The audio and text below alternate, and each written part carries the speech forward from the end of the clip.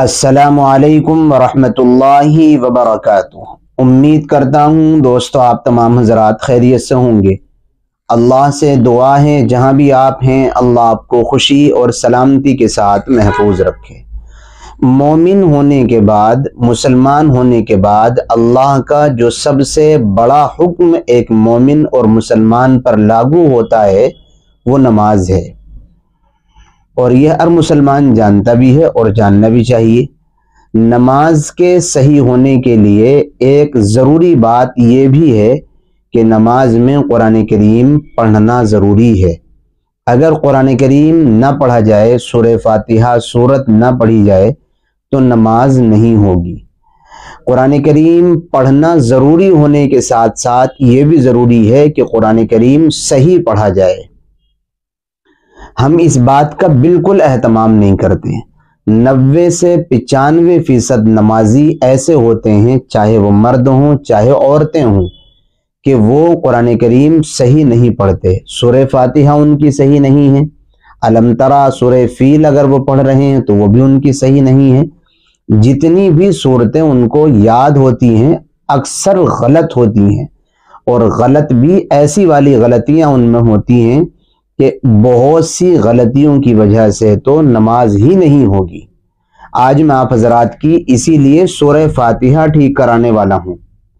اور سورہ فاتحہ میں وہ غلطیاں ترجمے کو سامنے رکھتے ہوئے میں آپ کو بتلانے والا ہوں کہ اگر یہ غلطیاں کی جائیں گی تو نماز نہیں ہوگی۔ میں صحیح کا بھی صحیح پڑھ کر بھی دکھاؤں گا اور صحیح کا ترجمہ بھی میننگ بھی بتاؤں گا۔ اور پھر غلط کیا پڑھتے ہیں عوام، مرد، عورت؟ اور اس غلط کا معنی اور میننگ کیا ہوتا ہے یہ بھی میں آپ کو سمجھاؤں گا۔ اس لیے یہ بہت اہم ویڈیو ہونے والی ہے۔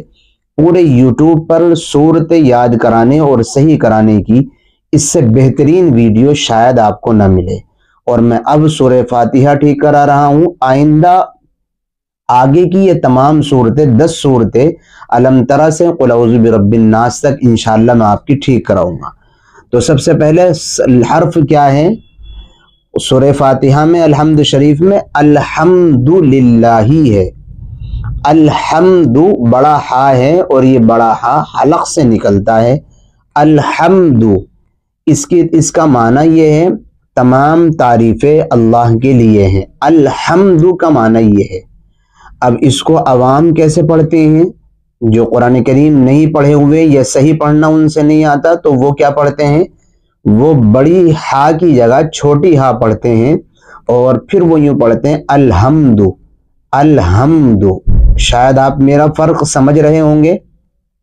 جب الحمد کی جگہ الحمد پڑھا جاتا ہے، تو پھر معنی اور میننگ اس کی بدل جاتی ہے پھر اس کی میننگ ہو جاتی ہے تمام کمزوریاں اللہ کے لیے ہیں۔ جبکہ الحمد اگر بڑے ہا سے پڑھا جائے تو اس کا معنی اور میننگ ہے تمام تعریفیں اللہ کے لیے ہیں۔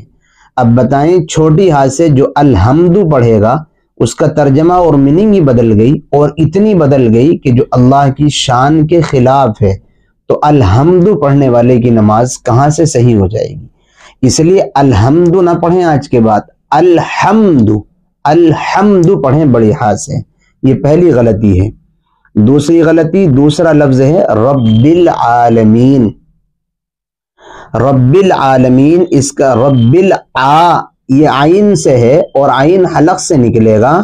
اور اس کا کا ترجمہ اور میننگ یہ ہے، جو تمام عالم کا رب ہے۔ جب عالمین کو ہم آئین سے پڑھیں گے، حلق سے نکال کر، تو ترجمہ ہوگا جو تمام عالم کا رب ہے۔ اور اگر ہم اس کو آئین سے نہیں پڑھیں گے بلکہ اس کو الف اور حمزہ سے پڑھیں گے، تو پھر یہ ایسے ہوگا رب العالمین رب العالمین پھر اس کا ترجمہ ہوگا جو تمام تکلیفوں میں مبتلا لوگوں کا رب ہے۔ عالمین کا ترجمہ پھر یہ ہوگا، تکلیف میں مبتلا ہونے والے، تکلیفوں میں مبتلا انسانوں کا رب ہے۔ کتنا ترجمہ بدل گئے بتائیں؟ صرف آئین کے بدلنے کی وجہ سے، آئین صحیح سے ادا نہ کرنے کی وجہ سے کتنی بڑی غلطی ہو گئی۔ تو یہ دوسری غلطی ہے۔ اگر کوئی یہ غلطی کرے گا تو اس کی نماز ہی نہیں ہوگی۔ اور تیسری غلطی ہے، تیسرا حرف ہے الرحمن۔ یہ بھی بڑے حادثہ ہے، حلق سے نکلے گی الرحمن۔ اور اس کا معنی ہے جو بڑا مہربان ہے۔ اس کا ترجمہ بڑے ہاتھ سے ہے جو بڑا مہربان ہے۔ اگر اسی الرحمن کو چھوٹی ہاتھ سے کوئی پڑھے، الرحمن، تو پھر اس کا ترجمہ ہوگا جو بہت ڈھیلا اور ہلکا ہے۔ یعنی اللہ کے بارے میں یہ کہا جا رہا ہے پڑھنے والے کی زبانی، جو بہت ڈھیلا اور ہلکا ہے۔ بتائیں، اللہ تو ڈھیلا اور ہلکا نہیں ہے۔ اب ہم قرآن میں اس انداز سے، قرآن نماز میں اس انداز سے پڑھ رہے ہیں، تو نماز کہاں کو صحیح ہوگی؟ تیسری غلطی، الرحیم۔ الرحیم بھی بڑی ہاتھ ہے، حلق سے ہی نکلے گی۔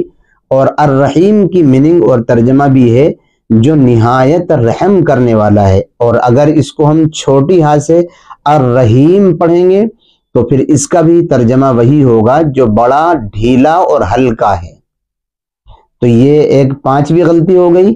ایا کا نا بدو نا بدو میں آئین ہے، نون آئین زبر نا آئین حلق سے نکلے گا۔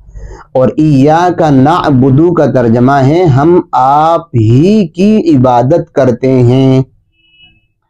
اگر کوئی انسان اس آئین کو نہ نکالے اور یوں پڑھے ایا کا نابدو تو آئین ختم کر دیا اس نے۔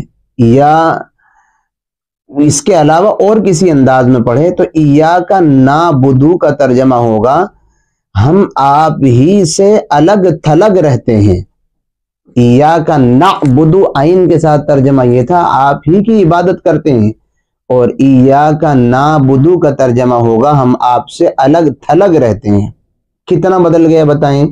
کیسے نماز صحیح ہو جائے گی؟ پانچواں لفظ ہے، پانچ چھٹی غلطی ہے وہ کا نستعین۔ یہ نستعین میں بھی آئین ہے، یہ بھی حلق سے نکلے گا۔ اور نستعین ایا کا نعبدو، و ایا کا نستعین کا ترجمہ ہے ہم آپ ہی سے مدد طلب کرتے ہیں۔ ایک انسان اس کو نستعین نہیں آئین سے نہیں، بلکہ نستعین حمزہ سے پڑھ رہا ہے۔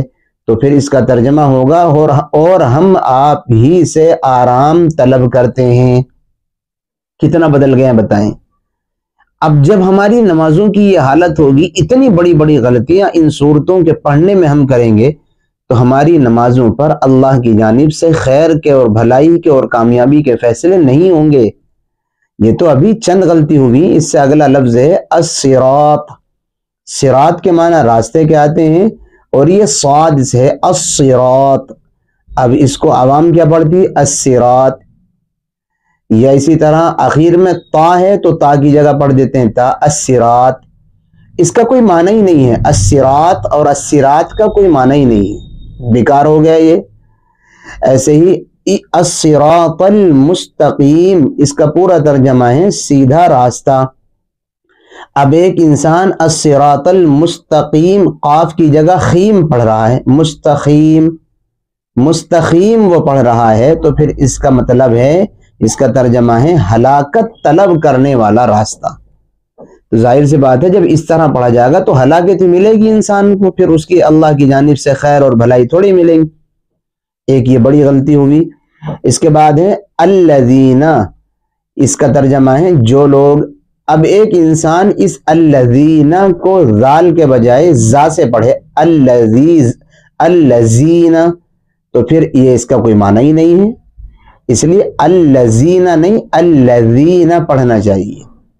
اور اگلی غلطی ہے ان امتا ان امتا ان امتا امتا میں یہ آئین ہے، اس کو صحیح سے ادا کرنا چاہیے ان امتا علیہم، اس کا ترجمہ ہے جن پر آپ نے انعام کیا۔ اور اگر ہم اس کو پڑھیں ان امتا ہم اس کو آئین کی جگہ حمزہ سے پڑھنے لگیں ان امتا علیہم، تو اس کا کوئی معنی ہی نہیں ہے۔ پوری ڈکشنری میں کوئی اس کے معنی ہی نہیں ملیں گے آپ کو، اس لیے ایسا نہیں پڑھنا چاہیے۔ اور اس سے اگلی غلطی ہے، المغزوب علیہم مغزوب علیہم اس کا صحیح ترجمہ یہ ہے مغزوبی میں زاد ہے مغزوبی اس کا صحیح ترجمہ ہے، جن پر آپ کا غضب نازل ہوا۔ یہ اس کا صحیح ترجمہ ہے۔ اور اگر کوئی انسان اس کو زاد کے بجائے مغزوبی زا سے پڑھنے لگے یا مغزوبی زال سے پڑھنے لگے، تو اس کا کوئی معنی نہیں ہے۔ پھر اس کا کوئی مفہوم ہی نہیں ہوگا۔ تو جب ہم بے معنی، بے مفہوم والی نماز پڑھیں گے، تو اللہ کی جانب سے وہ کیسے مقبول ہوگی؟ اگلا لفظ ہے ولزالین یہ ضالین زاد سے ہے۔ اب کوئی انسان ولزالین کے بجائے ولزالین کا ترجمہ ہے نہ گمراہ لوگوں کے راستے پر۔ اب کوئی انسان اس کو ولزالین پڑھنے لگے، یہ ولزالین پڑھنے لگے، تو پھر اس کا مطلب ہوگا کہ نہ پھسلنے والوں کے راستے پر، نہ کہ رہنمائی کرنے والوں کے راستے پر۔ تو یہ اتنی فحش اور بڑی بڑی غلطیاں قرآن کریم کے پڑھنے میں اور ان صورتوں کے پڑھنے میں، جب ہم سے ہوں گی تو پھر ہماری نماز کیسے صحیح ہوگی؟ اور جب نماز صحیح نہیں ہوگی تو پھر اللہ کے یہاں مقبول کیسے ہوگی؟ اور جب اللہ کے یہاں مقبول ہی نہیں ہوگی تو پھر اس کے پر ہمارے لیے اللہ کی جانب سے خیر کے فیصلے نہیں ہوں گے۔ اللہ کی جانب سے انعامات کی بارش ہمارے لیے ان نمازوں پر نہیں ہوگی۔ اور نمازوں پر جو وعدے ہم سے کیے گئے ہیں، وہ وعدے ہمارے حق میں کبھی پورے نہیں ہوں گے۔ اس لیے اس صورت کو ٹھیک کریں۔ اور جو غلطی میں نے اس میں بتائی ہے بار بار اس ویڈیو کو سن کر ٹھیک کریں اور درست کر لیں۔ اور بہت بہترین ویڈیو اس ٹاپک پر میں آپ کی خدمت میں پوری دس صورتوں کی پیش کرتا رہوں گا۔ بالکل ٹھیک کر لیں۔ اللہ عمل کی توفیق نصیب فرمائے۔ السلام علیکم ورحمۃ اللہ۔